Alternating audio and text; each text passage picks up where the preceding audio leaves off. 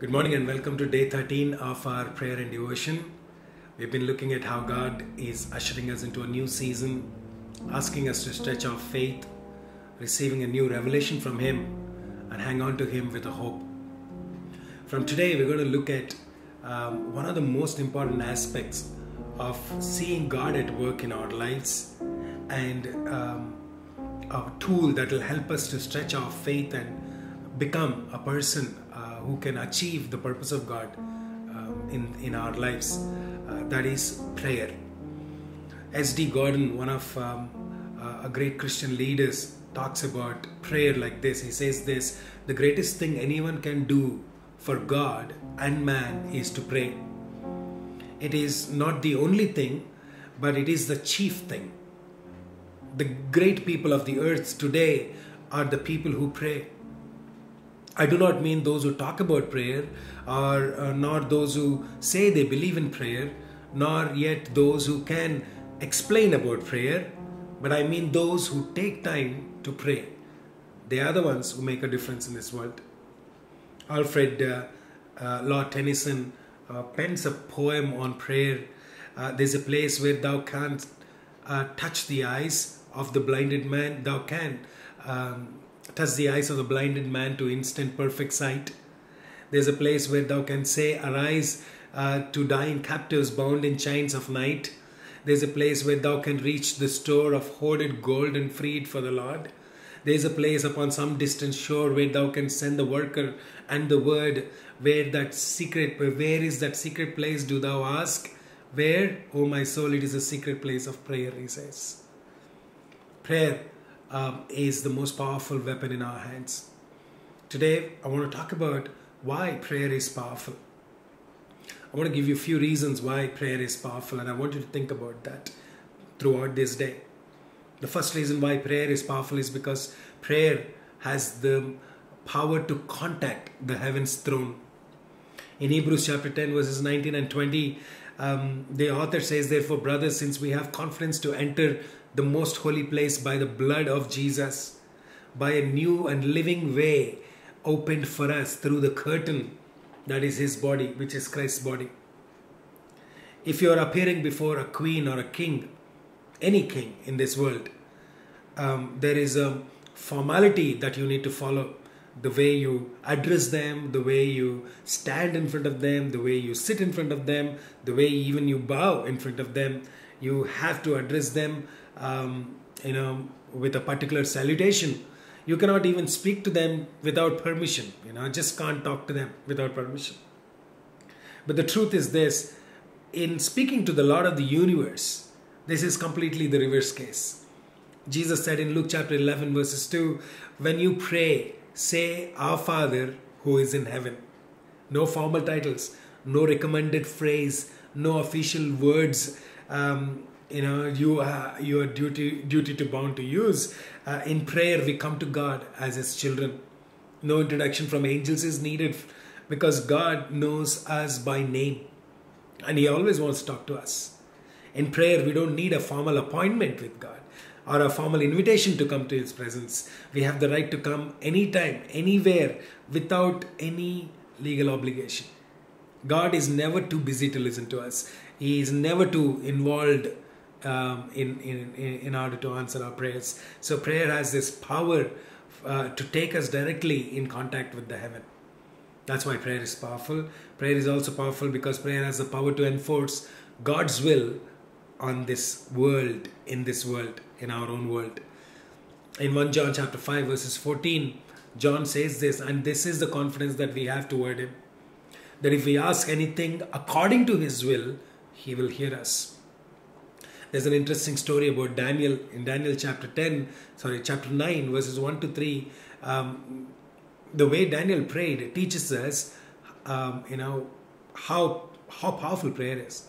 In the first year of Darius, the son of Ahasuerus of the descendants of Medes, um, who was made king over the realm of Chaldeans, in the first year of his reign, I, Daniel, understood from the books the number of years of which the Lord, word of God came to Jeremiah the prophet, that he would accomplish 70 years in the desolations of mm, Jerusalem And I set my face unto the Lord to seek by prayer and supplications with fasting and sackcloth and ashes.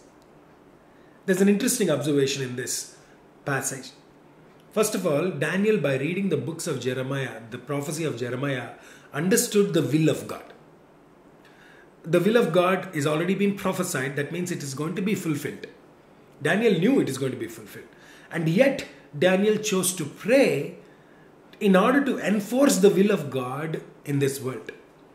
That's when I realized this. While there is a will of God set for us, it can only be enforced in this world and in our lives, in our families, after we pray. Daniel knew that. That's why he was very bold in the way he was praying to God because he knew this is God's will. In verses 19 of the same chapter, chapter 3 of Daniel, uh, chapter 9 of Daniel, verses 19, O Lord, hear, O Lord, forgive, O Lord, hearken and do, differ not, for my for your own sake, O my God, for your city and your people are called by your name. He's literally saying, God, I know it's your will. Please don't turn away from your will. Please enforce your will on the earth. It is um, Paul says to Timothy in 1 Timothy chapter 2 verses 3 and 4, this is good and pleases our God, our Savior, who wants all men to be saved and to come to the knowledge of truth. So, in other words, God mm, wants all the people to be saved. He is powerful enough and He can save all the people without us. But He chooses to use us as His instrument uh, and we can enforce His will uh, in our own world through prayer. So that's the power of prayer.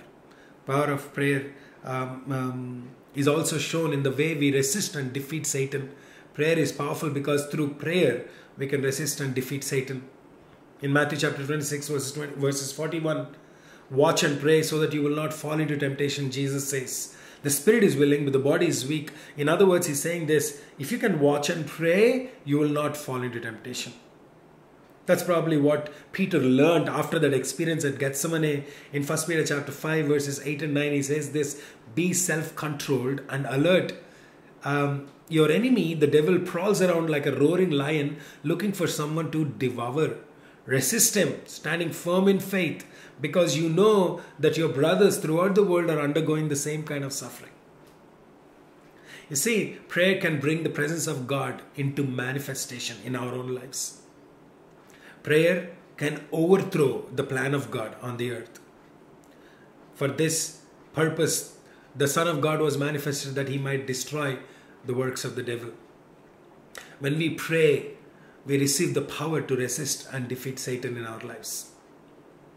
There's another um, a dimension you can see about the prayer of power of prayer is this the prayer has the power to transcend the laws of nature we are bound by physical laws. We are we are confined by the 3d 3d um, three dimensional uh, aspect of our life. Like space time and mass dictates everything in our lives. Uh, what we call uh, um, natural is so many times is restricted and it cannot uh, we there, there are so many things that we wish would happen differently but we know naturally they're not possible. But god has the power to bend the rules God has the power to bend the natural rules, physical laws, and He can do um, things that are beyond our imagination. What prayer does is that prayer releases that power of God to transcend the nature. In Luke chapter 18, verses 27, Jesus says, The things which are impossible with men are possible with God. His normal, you know, when God works normally, we call it nature uh, when God overrides his usual way of working, which is natural ways, we call it a miracle. It's a supernatural thing. So, um, in prayer, we can actually begin to see God working supernaturally and and bending the physical laws, natural laws, in order to do something great. Prayer can transcend the laws of nature. That's the power of prayer. Um, number five, prayer has the power to obtain angelic assistance. When we pray, angels can come to our assistance. You see that happening throughout the scriptures. People who prayed, people who constantly depended on God, on God, uh, have been assisted by angels when they were in danger. Um, you know, Hebrews talks about it in Hebrews chapter 1, verses 14. He says, the, the reason angels are there, these are the spirits to serve those who are uh, going to receive the salvation. That means angels are sent to serve us, to protect us. Um, same thing happened with Elisha when he was in a danger of being attacked by an Aramean army. God put an entire angelic force around the Aramean army who defeated them, blinded and defeated them. God uses his angels deliver his children, you know, um, in, in difficult times like Peter when he was imprisoned. Um, God uses an angel to deliver him out of the prison and rescue him. So uh, you, you can see hundreds of examples all through the scriptures of how God sends his angels, his messengers to save people. That means when we pray, we can actually obtain angelic assistance in our lives. Number six, um, prayer is powerful because prayer has the power to move mountains. There is no mountain too high, there is no mountain too wide, there is no mountain too large that cannot be moved by prayer. Jesus himself said in Matthew chapter 21, after the cursing of the fig tree, when disciples were surprised by you know how the fig tree was cursed, Jesus talks to them. As a matter of fact, he says, Yes, and if you embrace the kingdom life and don't doubt God, you will not only do a minor feat like I did to this victory, uh, you will also triumph over huge obstacles. This mountain, for example, if you tell you, you you'll tell go and jump into the lake and it'll jump. Absolutely everything, ranging from small to large, as you make it a part of your believing prayer, gets included as you lay hold of God. Prayer has the power to mm, change mountains into highways for us. That's the power of prayer. And lastly, prayer has a power to bless. When we pray, people can be blessed. In our families, uh, when we pray, our children can be blessed. Uh, we can, when we utter a bl- word, words of blessings through our prayers, they actually become a reality over people. Sometimes we don't really take it seriously when we say, God bless you actually when you say god bless you you're actually blessing people and it, it becomes a reality. In matthew chapter 18 verses 18 to 20 take this most seriously. A yes on earth is a yes in heaven. A no on earth is a no in heaven. What you say to one another is eternal. I mean think about that. This is what jesus is saying. What you say to one another is eternal. I mean this. When two of you gather together on anything at all on the earth and make a prayer of it, my Father in heaven goes into action. When two or three of you uh, are together because of me, you can be sure that I will be there. That's amazing. Huh? Prayer is God's gift for us to bless others. With so much of power in prayer, it's, it's very sad that many of us ignore it.